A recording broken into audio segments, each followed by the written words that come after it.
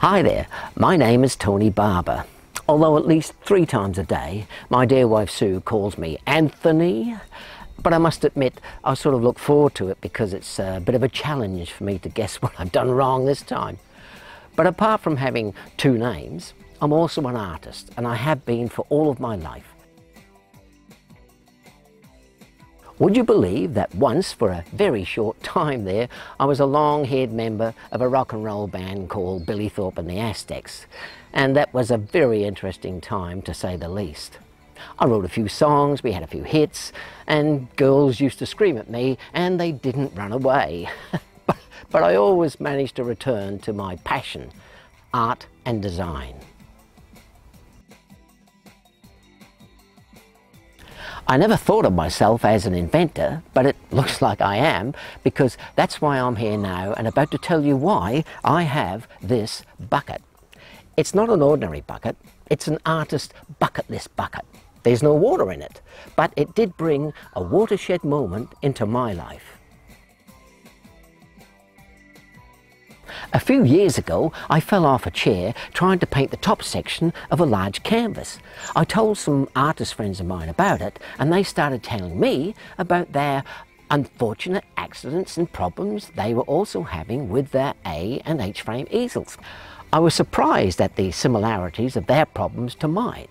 So I asked each one of them to make a list of the main things they would like, in a perfect world, their easels to do beyond just supporting their canvas. Long story shorter, those artists' lists and mine revealed a pattern. We all pretty much had the same artist bucket list. So that is when I decided to try and invent and build an easel that would solve most, if not all, of those problems.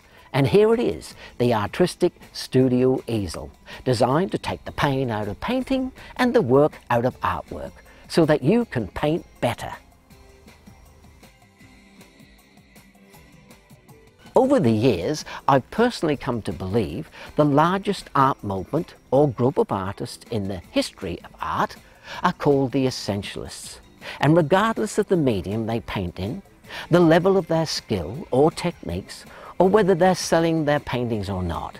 As a group, they are the world's most important and influential artists.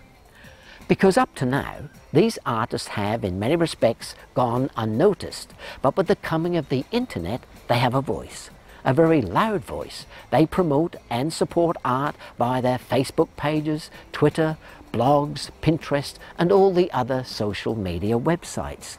Not only that, they support and attend art shows and exhibitions. And let's not forget that collectively they buy almost all of the brushes and the paints, the canvas and other art equipment worldwide every day. If they stopped doing these things, the art world would cease to exist. So you see, this is why the Essentialist artists are VIP artists. And the good news is, you are one of them. I've looked at thousands of paintings, judged art competitions, spoken at and visited hundreds of art clubs and societies. And I firmly believe there is no such thing as a bad painting. You can always find one small spark of originality, sometimes even a touch of genius, a single brushstroke that hints of better paintings to come. And once I find it, I always tell the artist because we all thrive on encouragement. The things you paint, create and do could one day motivate someone else to try it too.